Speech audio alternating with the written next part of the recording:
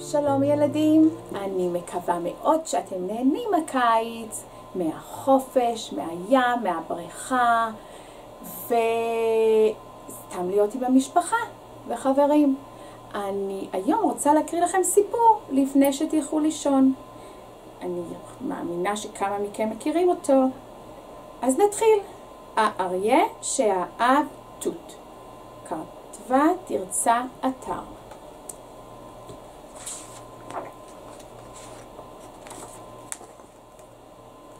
פעם היה אריה שאהב רק תות, לא בשר ולא גבינה, רק תות פשוט.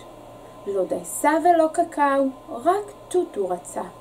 תות, לא לחם, לא אורז ולא ביצה, רק תות. וביער הרחוק ההוא שבו הוא היה גר, לא היה תות. ישב האריה ובכה ובכה ואמר, אני רוצה תות. באה אמא שלו הלוויה ואמרה לו, תשמע חמוד, אין תות. ביער שלנו אין תות.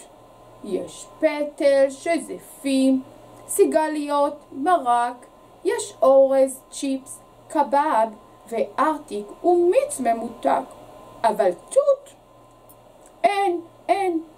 תפסיק לבכות ותפסיק לילל. אבל אריה בכה ורצה רק תות, ואת עיניו ניגב, וניגב כל הזמן בסמרטוט, ורצה רק תות. כל הזמן בכה וכל הזמן רצה תות ותות. פעם אחת הלכו ילדים קטנים לטייל ביער ההוא, ולילדים מהם היה כי במקום שבו הם גרו ושממנו לטיול יצאו היה תות. וכשהם יצאו לטיול, אמא שלהם שמה להם בתיק האוכל תות, כדי שאם פתאום יהיו רעבים יוכלו לאכול תות, הרבה תות.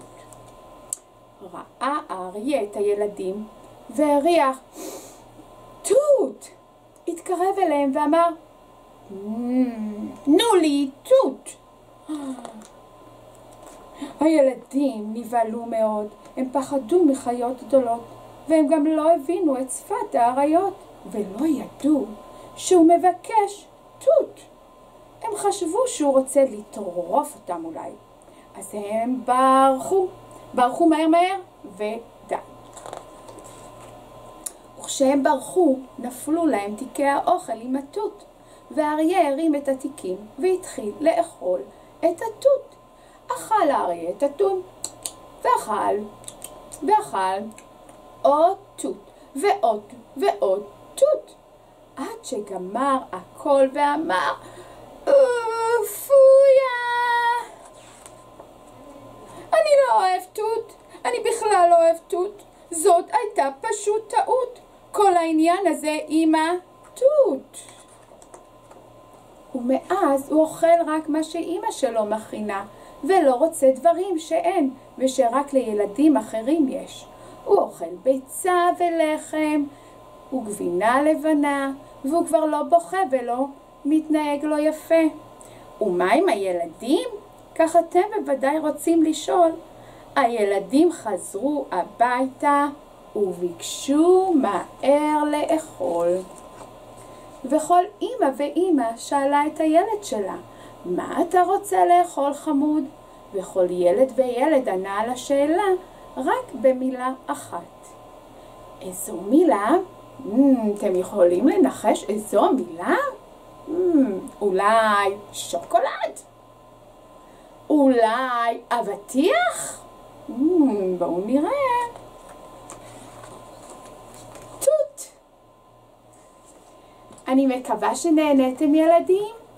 תמשיכו לקרוא ספרים לבד בבית בעברית ולהתראות בשנה הבאה. ביי, לילה טוב.